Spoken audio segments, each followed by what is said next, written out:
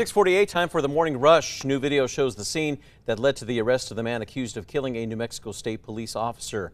Authorities were searching for Jeremy Smith.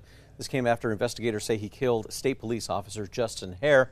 Video shows deputies chasing him over walls and through backyards. They eventually catch up to him and Smith was shot four times. Now, if convicted of federal charges, he could face the death penalty.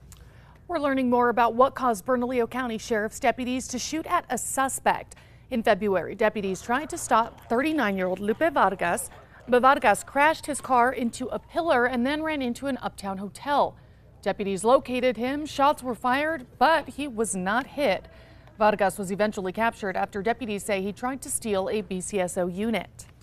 New Mexico State Police say that they have arrested two people in connection to a stash house in Las Cruces. On March the 12th, a state police officer stopped 40-year-old Albert Torres and his passenger, 37-year-old Victoria Cabrales.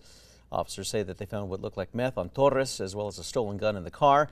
The pair told the officer that they had the food that they were taking to a stash house where state police found 16 illegal immigrants. Erica. And here's a look at our school day forecast. Low 40s today uh, in the morning commute, so you'll need jackets or layers. We'll be in the upper 70s, a warm and breezy afternoon. Crime and homelessness continue to be big concerns for Albuquerque residents. According to a recent city survey, more than half of the 400 respondents said they do not think APD is doing a good job at addressing violent crime and property crime. In response, the city released a statement saying, in part, we are working to address the issues that are impacting people every day.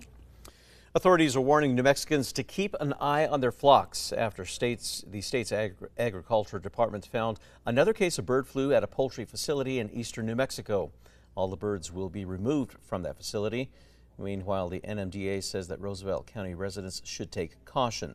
The flu was first detected in New Mexico at a dairy farm in Curry County. Yesterday, state and federal officials presented plans for a new facility in Mora aimed at restoring areas damaged by the Hermit's Peak Calf Canyon fire. The center will have the capacity to produce 5 million seedlings per year.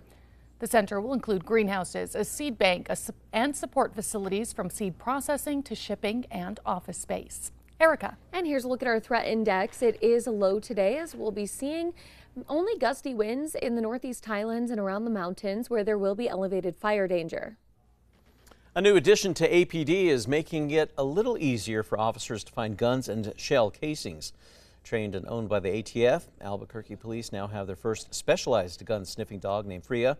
Freya started with the department in January and has already been called in to help find shell casings in several cases. After gaining fame wandering around northern New Mexico, a Mexican gray wolf is now the feature star in children's in a children's book. The author, Bernadette Maldonado, who's also an art teacher at Luna Community College, decided to use her creative skills and put those imaginary adventures down in a book called Why Asha Goes North. Maldonado hopes her book will change the perception people have on wolves.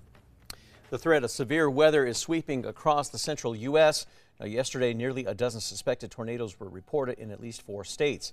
In Missouri, thousands are left in the dark after severe storms struck there. And in Kansas, the National Weather Service says that a twister with winds up, up to 100 miles per hour tossed a man from his trailer, leaving his wife and their two dogs stuck in the rubble. The line of severe storms is now moving east. Erica. And here's a look at traffic. The maps are clear, no accidents or slowdowns to report. Here's a live look over the Big I, where we're starting to see those typical slowdowns going east on I-40 toward the Big I. A dash cam in an Iowa deputy's patrol car captured intense lightning strikes early Tuesday morning.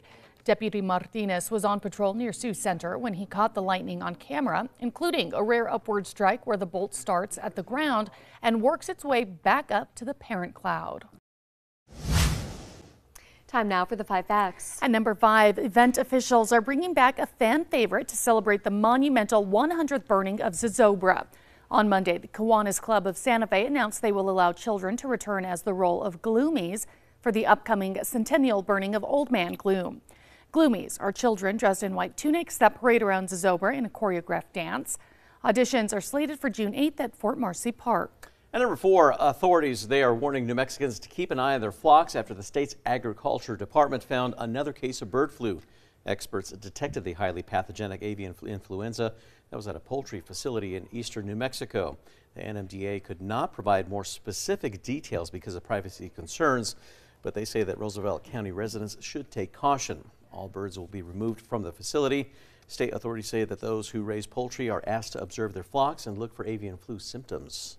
And number three, it's going to be a warmer day with temperatures climbing from the 40s back into the upper 70s. We'll be seeing sunshine and breezes of around 15 to 30 miles per hour. And number two, crime and homelessness continue to be a big concern. It's for Albuquerque residents, according to a recent survey released by the city. 400 residents took part in that survey in February.